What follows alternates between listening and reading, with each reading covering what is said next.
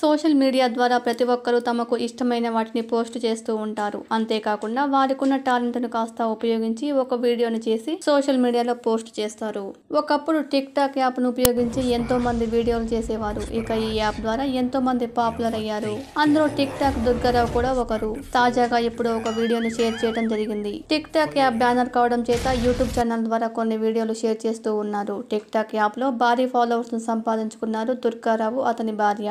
వీరిద్దరూ కలిసి వేసిన స్టెప్పులు నెటిజన్లను బాగా ఆకట్టుకోవడంలో ముందు వరుసలో ఉంటారు. తాజాగా వీరిద్దరూ కలిసి పుష్ప సినిమాలోని ఒక డైలాగ్ చేయడం ద్వారా అది ఇప్పుడు వైరల్గా మారుతుంది. పుష్ప సినిమాలో ఉండే డైలాగ్లను వరుస పెట్టి ఈ వీడియోలో చూపించడం జరిగింది. ఈ వీడియోను తన ఇన్స్టాగ్రామ్ ద్వారా అప్లోడ్ చేశారు. ఈ వీడియో చూసిన అభిమానులు నెటిజన్లు కామెంట్ రూపంలో వీరిని బాగా ఆడుకుంటున్నారు.